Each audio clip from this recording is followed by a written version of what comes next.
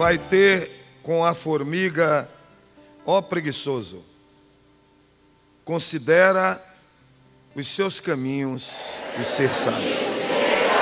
Agora mais uma vez para gravar. Vai ter com a formiga, ó preguiçoso, considera os seus caminhos e ser sábio. Senhor da glória, conforme a tua palavra em Mateus 18, 19, em concordância com o Espírito Santo e na autoridade do precioso e poderoso nome do Senhor Jesus Cristo de Nazaré. Nós te suplicamos que unjas com o precioso sangue do Cordeiro os ouvidos, as mentes, os corações de todo este povo nesse santuário, para que possam ouvir e possam entender e possam compreender e discernir e guardar no mais profundo de cada um de seus corações o recado que está vindo do mais recôndito do teu santo coração. Querido, traz cada uma das mentes neste santuário cativas ao Senhor Jesus Cristo em nome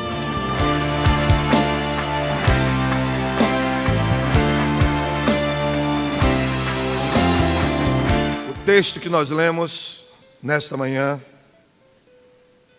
foi escrito Shlomo Hameler ben David Hameler, pelo rei Salomão, filho do rei Davi. Segundo o Senhor Jesus Cristo, o homem mais sábio sobre a terra. Vai ter com a formiga o preguiçoso, considera os seus caminhos e se considera os seus caminhos e se e se coisa extraordinária. Shlomo Hamela, o rei Salomão, também no livro de Provérbios, no capítulo 30, verso 25, ele diz assim: As formigas, pode consultar na sua Bíblia, Provérbios 30, 25, ele estava realmente preocupado com as formigas. Ele diz assim: As formigas, criaturas sem força, todavia no verão, preparam a sua comida. Olha o que Salomão está dizendo. Vai ter, vai ter com a formiga, vai ter com a formiga. Observa a formiga, se matricule na universidade formigal. É isso que ele está dizendo. Ele está querendo que você se matricule na Universidade Formigal. Para aprender na escola da formiga. Amém, irmão? No momento que eu estava lendo esse versículo na Bíblia, isso me impactou muito. Um homem mais sábio sobre a terra, segundo Jesus Cristo, que era Salomão, chegar para mim, para você e dizer assim: olha aqui, estude a formiga, que você vai ser uma pessoa sábia. Quanta gente pisa na formiga, arrebenta a formiga, bota veneno para matar a formiga, mas nunca se preocupou em seguir a orientação de Salomão. E o que é que me fez preocupar com isso? Jesus dizendo: Antes e depois dele não existiu na terra alguém com tanta sabedoria. Eu digo, um sujeito sábio, me disse, chegar para mim e dizer assim, Bispo Átila, você vai estudar o cachorro? Eu vou estudar o cachorro. Vai estudar a formiga? Vou estudar a formiga. É alguma coisa que Salomão descobriu estudando a formiga, viu, pastor Geraldo? Sujeito com tanta sabedoria, um rei poderoso, esplendoroso. A Bíblia diz assim: e na época de Salomão, a prata não tinha valor nenhum. Ninguém queria saber mais de prata. Era mesmo que latão hoje. O povo só queria saber de ouro, só tinha valor o ouro. Era o esplendor, o Fausto. A ponto da rainha da Etiópia, né? Ter saído lá do seu reino, curiosa, para descobrir que inteligência, que sabedoria era aquela. Um homem extraordinário, um homem que impactou mundo da sua época. Olhe para a pessoa do seu lado, está entendendo? A sua missão na terra é fazer a diferença na sua geração, impactando a sociedade aonde você convive. A formiga, criatura sem força, todavia no verão prepara a sua comida. Ele está dizendo que a formiga, ela que é tão pequenininha, tão frágil, e você que é tão inteligente, né? A formiga está preocupada com o inverno. Ela se preocupa com o período de dificuldade. Então ela começa a trabalhar no momento que ela está bem, no momento da sua força plena, no verão. Ela começa a investir para o inverno. Significa, diga, a formiga é um animalzinho frágil, débil, mas é prudente. Muitas vezes as pessoas pensam que prudente só é quem é cirurgião dentista, né, doutor? Todo bom dentista tem que ser prudente, incisivo e canino. Aí pensa que é só quem não. Deus quer que você seja prudente. A Bíblia diz que os filhos das trevas são mais prudentes que os filhos da luz. Jesus Cristo diz: aproveitai as oportunidades, sede simples como as pombas e astutos, prudentes como as serpentes. Então observe a prudência da formiga. No verão, ela amontoa, ela mealha, ela junta para os momentos de dificuldade da vida. Você está vendo o período de verão da sua vida, período de plenitude, de alegria, de conquista, de vitórias. Lembre-se que um certo dia vai chegar o inverno, o ocaso da vida, período de dificuldade. Você tem que investir agora. Eu me lembro que uma certa vez, no dia do aniversário de meu pai, nós demos um banquete a ele lá em casa, os filhos todos, e aí demos um presente que era o sonho da vida dele. E como demos aquele presente, ele começou a chorar. E eu fiquei preocupado por causa da idade dele. Ele está preocupado, está chorando por quê? Ele sabe que é que eu estou chorando. Eu estou muito emocionado. Eu digo, mas é emocionado por quê? Ele disse, porque veio na minha cabeça um pensamento. Eu nunca vou morar num abrigo de velhos. O medo dele era isso, era ser abandonado lá no, no, no, numa oficina de sucata, um desmanche, onde muitos filhos abandonam os pais, abandonam os parentes lá, deixam lá morrer, e não querem nem saber que existe. Mas ele disse: Eu sei que vocês nunca vão deixar eu abandonado num abrigo de velhos. Diga, irmão, irmã, comece agora a planejar o seu futuro. Agora, não sei se vocês já observaram isso. No momento em que você acende a luz, a luz da sua cozinha na sua casa, né? Quando você acabou de comer, acabou de jantar, e aí larga açúcar pelo chão, então, quando você acende a, a luz da sua cozinha, sua, sua casa toda limpa, toda coisa, quando você acende a luz, você encontra o quê? Da onde saíram elas? Da onde elas vieram? Mas de dia, quando você chega na cozinha de dia, você não vê aquela multidão de formiga, vê não? Não vê. Olhe para a pessoa que se seu lado e diga: Salomão sabia disso, que a formiga tem hábito noturno. É de noite que ela se movimenta. É de noite que ela trabalha.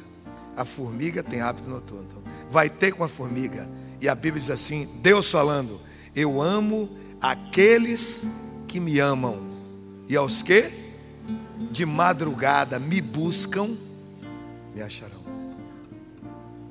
Salomão está nos ensinando que nós devemos desprezar a nossa cama quentinha, né? Aquela coisa aconchegante aquele travesseiro que quando nós chegamos ele se abre todo e nos abraça, já está acostumado conosco, para despertar no frio, ajoelhar e buscar a presença de Deus. Eu amo aqueles que me amam, mas os que de madrugada me buscam, me acharão. Eu não sei se já andaram pela rua de madrugada Ontem mesmo nós saímos de madrugada do aniversário da nossa filha Lorena. Tem pouco carro, viu, pastor Manuel? Pastor Robson, tem pouco carro na rua de madrugada. Já notaram isso? Olhe para a pessoa do seu, seu lado de madrugada. É bem melhor. Não existe engarrafamento. Viu? Seus irmãos estão tá todo mundo dormindo, então você pode acordar e buscar a face dele, que é rápido. Tem engarrafamento. É o hábito noturno. Eu amo aqueles que me amam, e aos que de madrugada me buscam, me acharão. Quando esse mesmo Salomão está falando sobre a mulher prudente, nesse mesmo livro, no capítulo 31, ele diz: De madrugada ela se levanta, dá tarefa às suas empregadas, orienta a sua casa, né? De madrugada. Tem mulher que o marido sai de madrugada para trabalhar, quando chega 10, 10 e meia para 11 horas. Ah, cadê Fulano? Cadê eu? Saiu. Comeu alguma coisa? Não, não tinha nada na mesa. Ele resolveu comer um sanduíche lá do outro lado da Cordilheira dos Andes.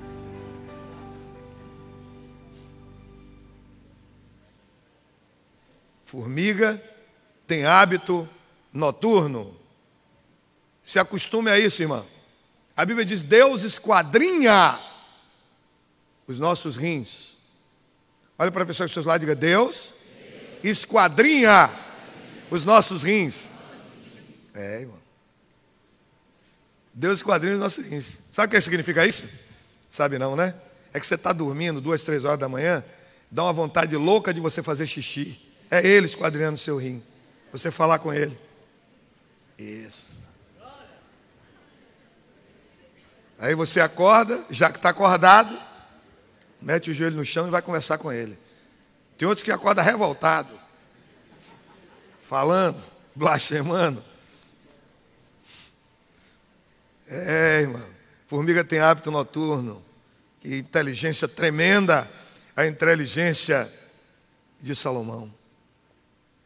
Olha para a pessoa que está seu lado, irmão, a formiga é prudente, ela ajunta em celeiro o produto do seu trabalho.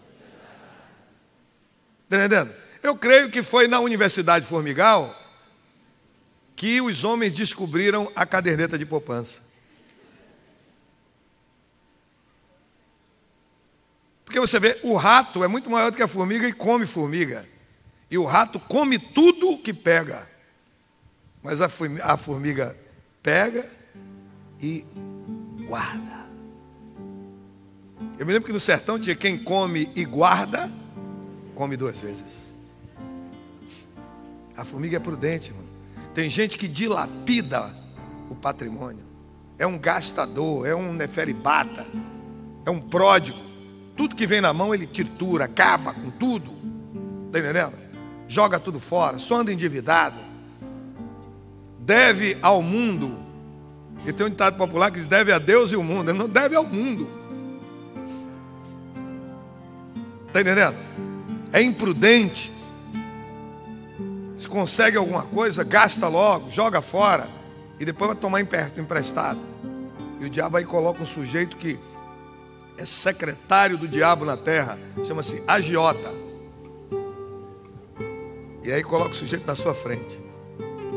Está entendendo? E o sujeito aí lhe dá o dinheiro que você precisa. E depois você vai pagar, né? É um negócio sério. Então veja que a formiga, ela é prudente. A formiga, diga a formiga, é prudente. Ela ajunta em celeiros tudo quanto amealha.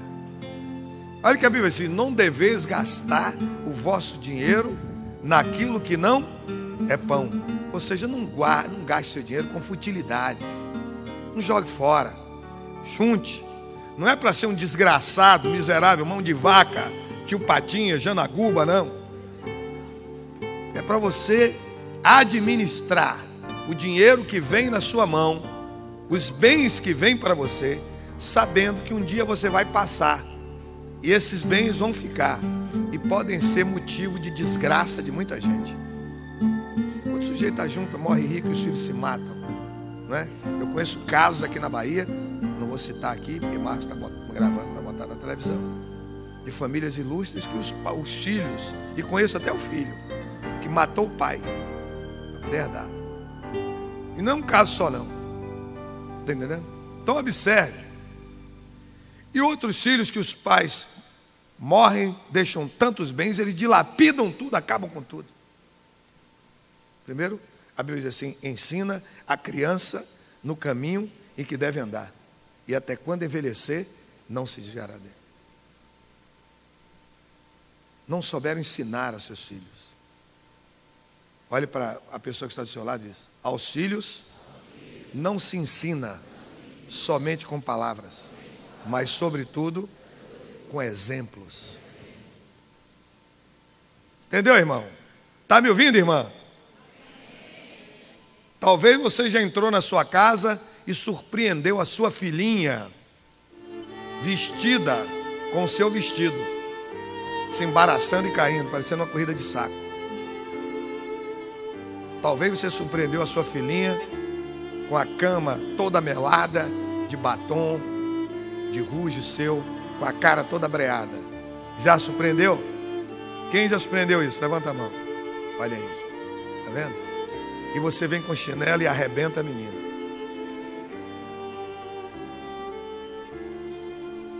Sabe o que, é que ela está dizendo com aquele gesto dela? Olhe para a pessoa de seus lados e diga: Sua filha, silenciosamente, está declarando, com um coraçãozinho cheio de amor: Mamãe quando eu crescer, eu quero ser igualzinha a você.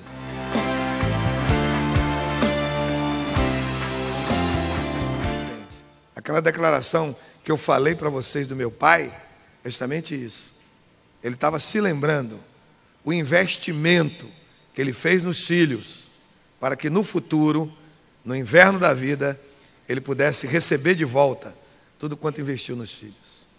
Ensina a criança no caminho em que deve andar, e até quando envelhecer, não se desviará dele.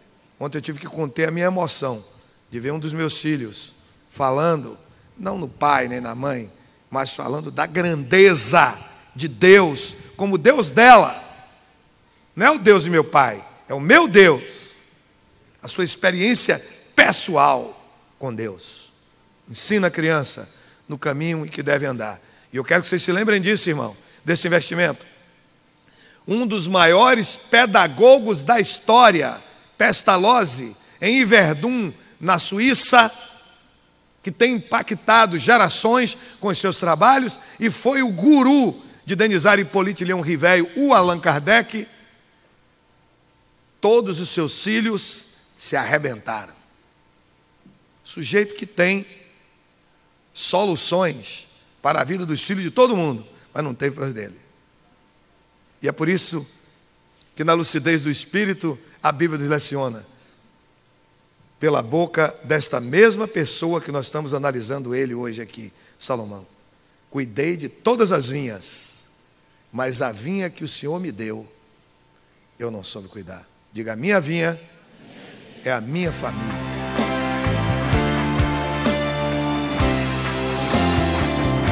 Olha para a pessoa que está do lado e diga: a formiga trabalha.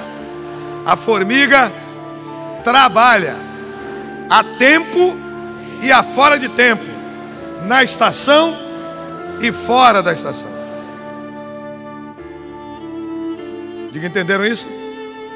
Deus não quer vagabundo em seu reino. Sujeito para servir a Deus tem que ser uma pessoa muito ocupada. Observe como a Bíblia é detalhista. E chegando o Senhor, às margens do Quineret, o mar da Galiléia, ele viu, Jesus viu Pedro e o seu irmão André que lavavam o barco e a rede e Tiago e Zebedeu que lançavam a rede no mar. Aí eles, esses caras levavam a noite toda pescando. Acabaram de pescar, ao invés de deitar na rede, eles estão lavando o barco, limpando as redes e consertando as redes. São muito ocupados, eu preciso dele para mim. Deus só usa pessoas ocupadas, que não tem tempo para nada.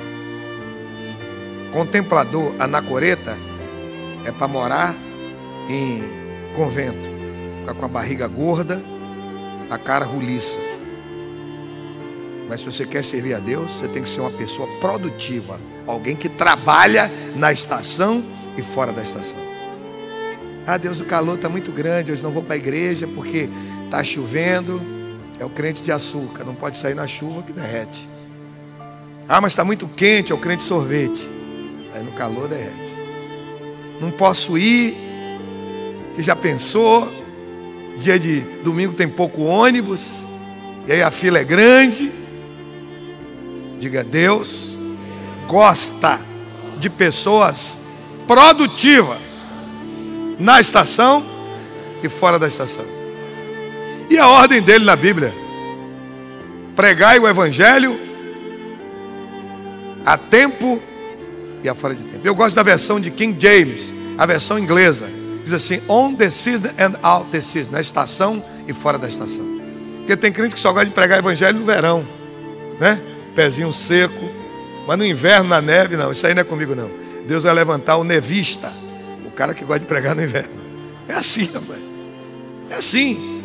Eu me lembro que eu estava em Israel conversando com um grande amigo meu que ganhei para Jesus. Esse judeu hoje é crente. É o braço direito de Oral Roberts lá nos Estados Unidos. E nós estávamos conversando. E ele me contando uma história.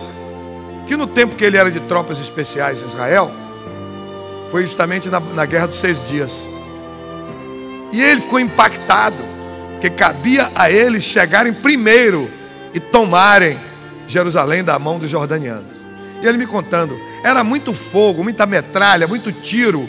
E nós estávamos ali escondidos, eles são paraquedistas, nós estávamos escondidos ali, nos protegendo na cidade. Era guerrilha urbana.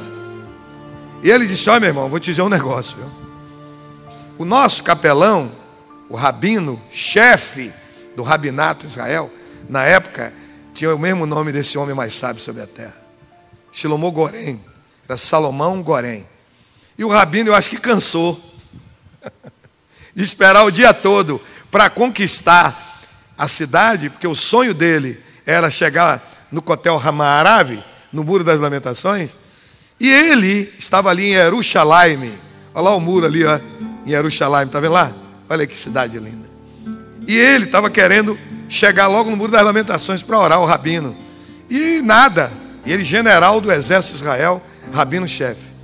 Quem não conhece a história de Israel, não conhece o Tzahal, Sava Haganá, lei Israel, que é o exército para a segurança de Israel, e nunca foi em Israel comigo para visitar os lugares de guerra de escaramuça e ler os nomes naquela parede enorme, o nome das pessoas que morreram ali. É o único lugar aonde você chega lá e encontra-se na parede enorme dessa, mortos no combate aqui.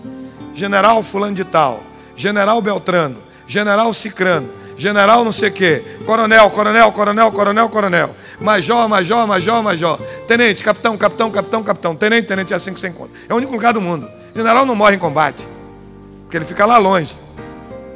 Quem morre é soldado. Mas Israel é a mesma coisa de quando Deus organizou o exército e colocou Iehoshua, Josué, como comandante. Os oficiais vão na frente do exército e gritam: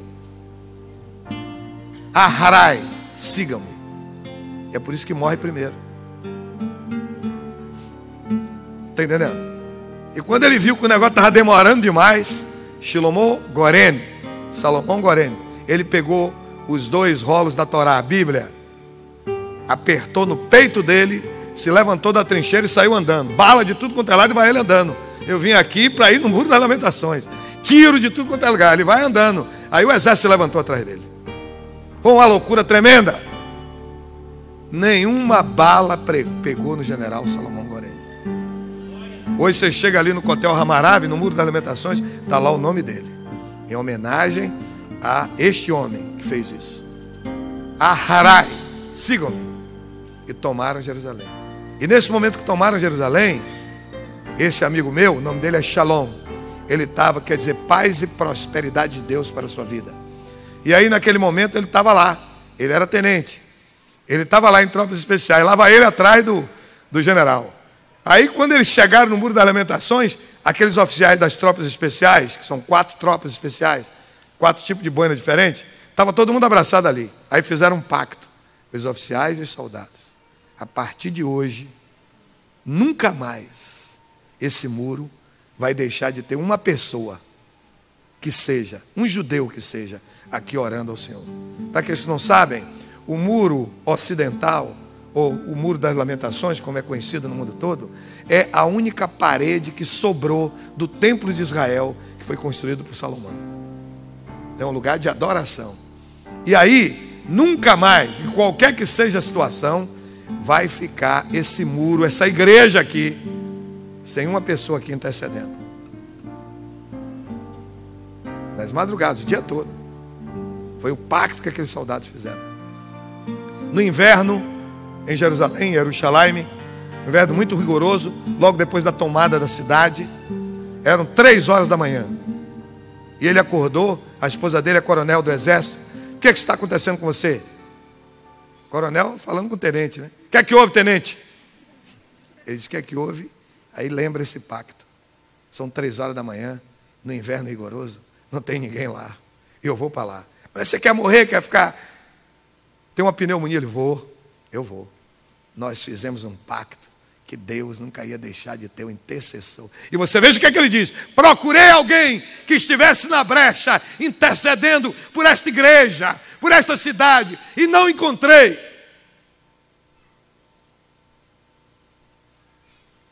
E ele se levantou.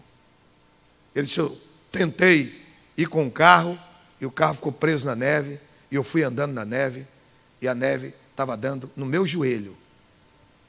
E eu fui atravessando a cidade toda, pisando naquela neve no meu joelho. Mas eu disse: Eu dei minha palavra, Senhor. Você vai me encontrar lá naquele muro da lamentação. E eu tenho certeza absoluta, Senhor, que eu sou o único que vou estar naquele muro. Mas eu vou estar. Você vai contar comigo. A formiga é assim. Ela trabalha em qualquer que seja a situação, a tempo e a fora de tempo. Ela tem um objetivo na vida. Ela não é uma uma tonta, ela não é uma bestalhada. Ela tem um objetivo, ela está marchando para um objetivo. E vai cumprir aquele objetivo. E vai alcançar aquele objetivo. Ninguém pode impedir que alguém cheio do Espírito Santo marche de encontro a um objetivo e conquiste esse objetivo. Como eu costumo sempre dizer a vocês, amados, queridos, eu vou repetir: os covardes nunca tentam, os derrotados nunca insistem, mas os vencedores jamais desistem. E lá vai ele. E lá vai ele. E quando ele chegou, no, ele disse: quando eu cheguei, que vi o muro, eu comecei a urrar de chorar naquela madrugada. Ele saiu três horas da manhã, chegou cinco no muro, mas chegou. Eu digo, por que, meu irmão? Ele disse assim, porque eu vi que não ia ter lugar para eu orar de tanta gente que estava lá na neve chorando diante do Senhor. Oh, a formiga prepara o seu próprio caminho. Ela não usa trilhos nem caminhos alheios. Você vê um asfalto aqui, quando você está no mato, tá aquela trilhinha abertinha, pequenininha. Como é que uma formiga pode fazer um caminho, irmão? Formiga não suga. A Bíblia diz que a, a sanguessuga tem duas irmãs. Como são o nome das irmãs? Dá e dá. Dá e dá. A família, a formiga prepara os seus próprios caminhos. Ela não se aproveita dos outros. Ela não mete a mão nos outros. Ela não dá golpe nos outros. Ela não violenta os outros. Ela não toma as coisas dos outros. Ela não usurpa o caminho dos outros. Ela, embora bem frágilzinha, ela prepara o seu próprio caminho por onde ela vai passar com todas as formigas, protegida, guardada, para cumprir o seu objetivo. Está entendendo, irmão? É isso que as pessoas não entendem. Entendeu? E observe, a formiga não faz, não vai pelo caminho dos outros, nem pela trilha dos outros. Ela faz o seu próprio caminho. E a Bíblia diz: não deveis seguir a multidão. Entendeu, irmão? E lá no livro de Jó, que é o livro mais antigo da Bíblia, a Bíblia diz assim: o caminho é solitário, nem as aves de rapina conhecem.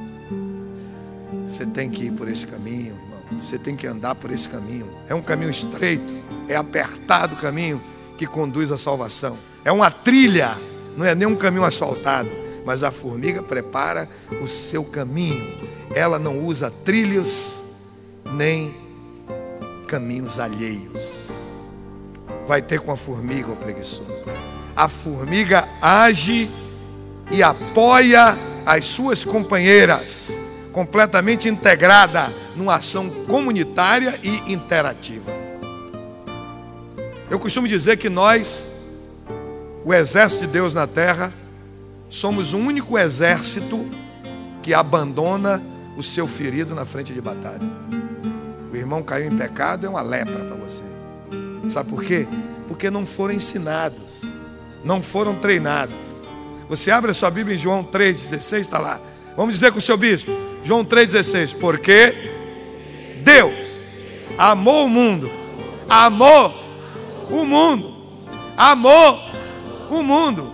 Deus amou o mundo, Deus ama o mundo. Aí você olha para a pessoa ao seu lado e diz assim: Irmão, por que, se Deus ama o mundo, você odeia o mundo? Odeia os ímpios, não quer se dar com os ímpios, fala mal dos ímpios. Ele, ele ama o mundo. Todos nós saímos do mundo, irmão. E estamos vivendo no mundo. Diga, eu não vivo com o mundo, mas vivo no mundo. Ferido na frente de batalha, foi ferido. Você vai ver, está falando mal. Rapaz, irmão, caiu em pecado. Você soube. Outro dia eu fui almoçar com, só com pastores, só líderes. Falar para eles aqui e fui conversar.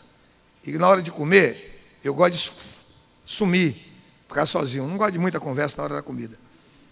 Eu gosto de comer. E aí eu fui para um lugar que ninguém ia, na porta de entrada do sanitário. Como é botar mesa ali? Ninguém. Eu já botei ali para ninguém ficar junto de mim. Mas daqui a pouco só vi mesa chegando. Tchá, tchá, tchá.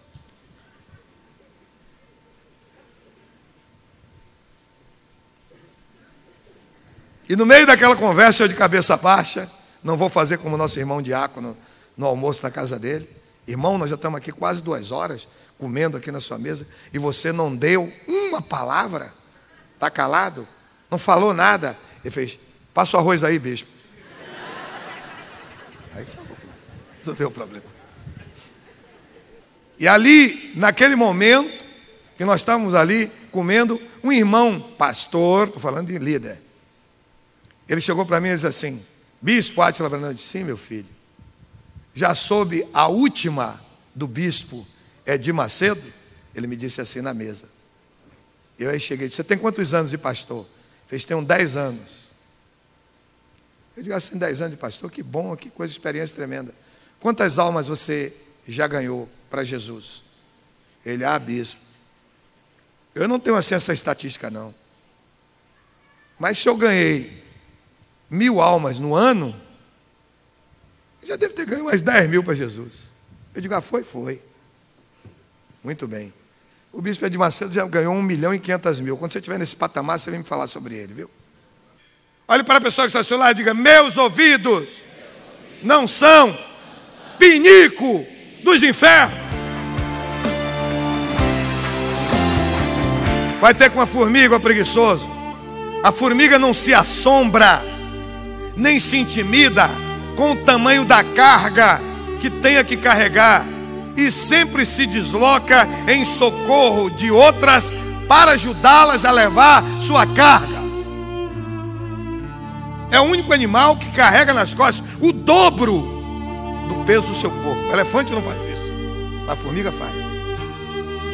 Diga, bispo, eu quero praticar a Bíblia, quando ela me ensina, levai as cargas uns dos outros. A Bíblia diz: um a outro ajudou e ao seu companheiro disse: esforça-te. É por isso que, graças a Deus, aqui na igreja do Caminho das Árvores, ninguém tem cargo, todo mundo tem carga. Levai as cargas um dos outros. A igreja trabalha silenciosamente. A igreja trabalha silenciosamente. Não fica aqui prestando relatório, não. A igreja está fazendo isso, está fazendo aquilo, está fazendo aquilo. Diga tudo quanto nós devemos fazer e fazemos é única, única e exclusivamente para a glória do Senhor.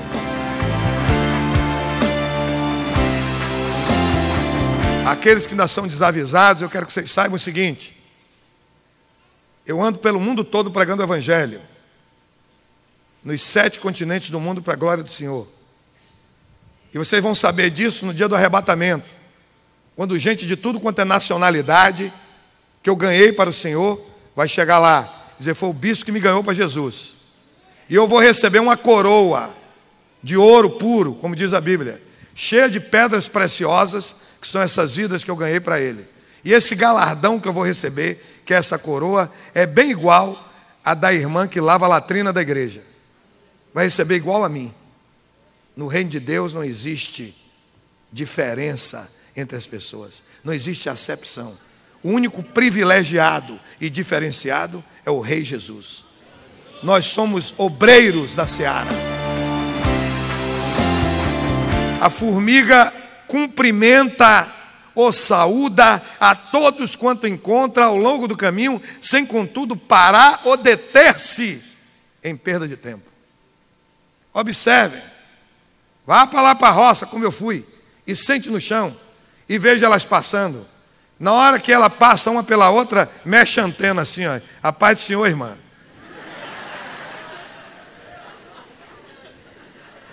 independente de que seja Assembleia de Deus, Batista, Presbiteriano, Igreja Universal, Adventista do sétimo dia, porque todos esses vão para o inferno.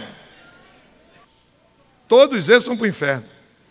Você, quando chegar no céu, não vai encontrar um batista, nem um presbiteriano, nem um metodista, nem igreja universal. Lá não entra nenhum deles, nem Assembleia de Deus. Vai tudo para o inferno. No céu só entram os lavados e remidos no sangue de Jesus, os nascidos de novo. A Bíblia diz que nós não temos que lutar contra sangue, nós estamos na terra com a espada do Espírito para lutar contra Satanás e seus exércitos organizados.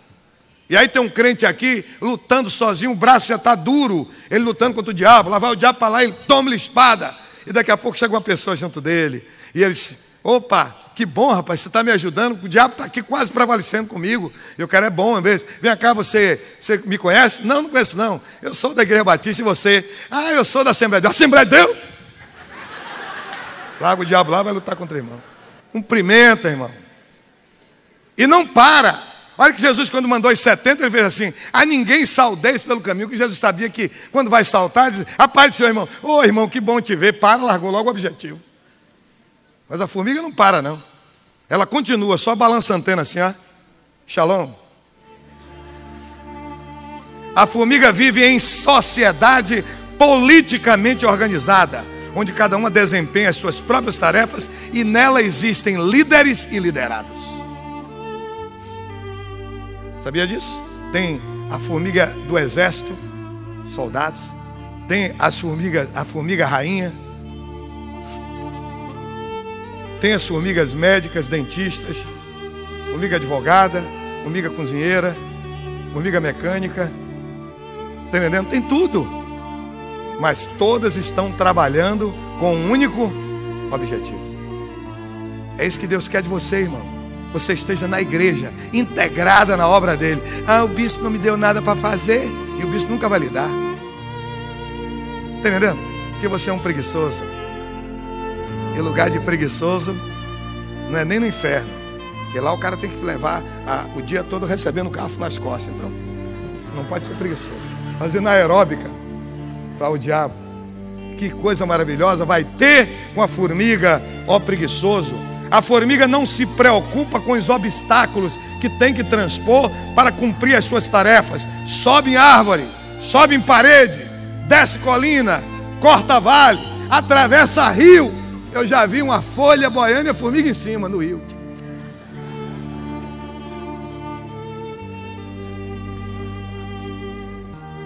Ah, bicho, eu não vou não na favela, no morro, na rodoviária para distribuir, não, bicho. Me deixa aqui no ar-condicionado. Eu nasci para trabalhar no estúdio.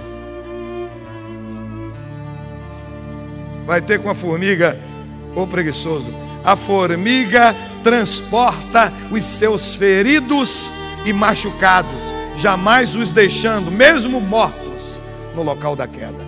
Observe isso: você pisa a formiga, as outras vão vão carregando. Tira dali.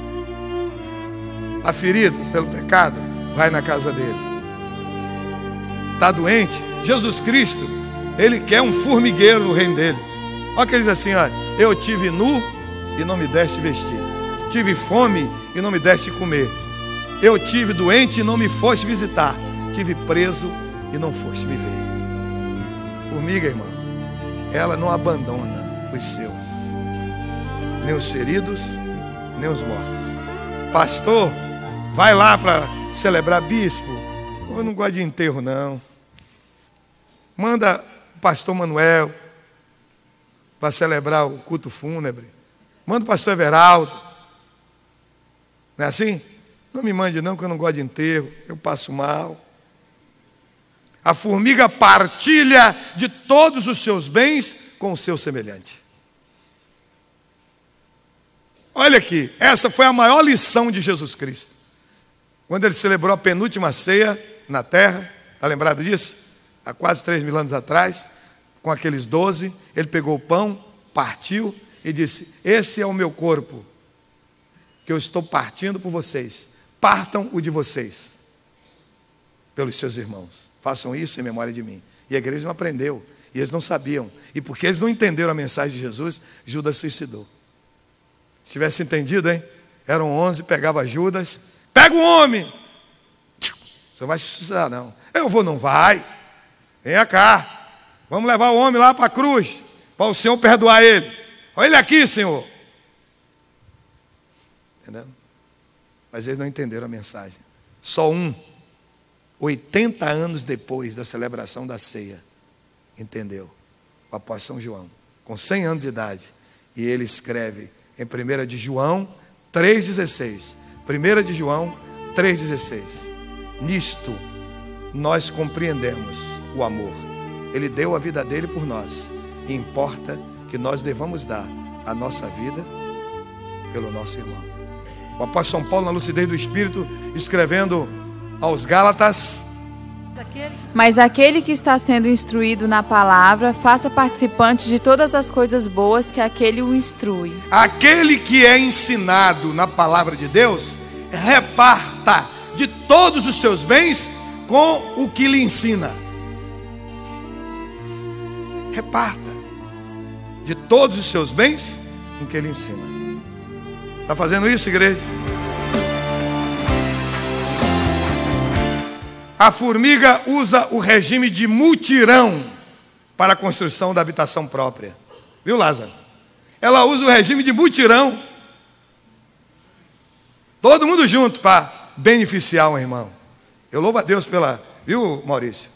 Pela construção da casa de recuperação. Não é estão, Fernando? Quantos irmãos foram para lá? Para limpar, para, colocar eletricidade, para fazer isso, tal, tal, tal, tal, tal. Não é isso? Quantos foram? Quantos são? Quantos foram lá para o abrigo lá da, da irmã Cícera lá? Né? Para consertar o chão, para fazer isso, para botar a luz, para. Está entendendo? Eu não vou falar mais, que é muita coisa que tem um ministério grande. Mas ela, o que, é que ela faz? Diga a formiga. A formiga usa o regime de mutirão. Sai todo domingo, junto, para pregar o evangelho nas praças. Vai visitar os doentes, mutirão, um bocado de gente.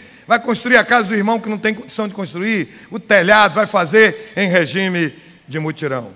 Vai ter com a formiga o preguiçoso. A formiga industrializa a matéria-prima que amealha. Tudo que ela junta, ela leva para o que se chama de panela do formigueiro, e ali ela trabalha, libera um ácido que se joga ali em cima, aquilo vai fermentando e, e forma um fungo.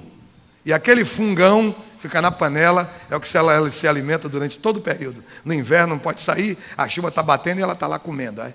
o que guardou. Entendeu, irmão? Está ouvindo não? Está ouvindo? Ela industrializa. Tem crente que fica com a matéria-prima. Recebeu aquela bênção, aprendeu aquilo na igreja e se apropria da matéria-prima. Tem outros que pegam a matéria-prima e exporta como matéria-prima in natura, mas tem outros não que industrializa. Vai, melhora, estuda, tchá, tchá, tchá, tchá, tchá, tchá. Olhe para a pessoa que está ao seu lado e digo: desisti. Eu agora quero ser um crente formiga. A formiga vai ter com a formiga, ó preguiçoso.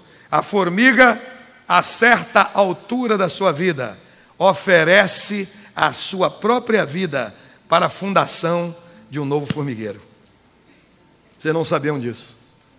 Quando ela fica madura, ela recebe ordem de sair do formigueiro e ir para um lugar onde não existe formigueiro para criar um formigueiro. E ela prepara tudo e morre ali.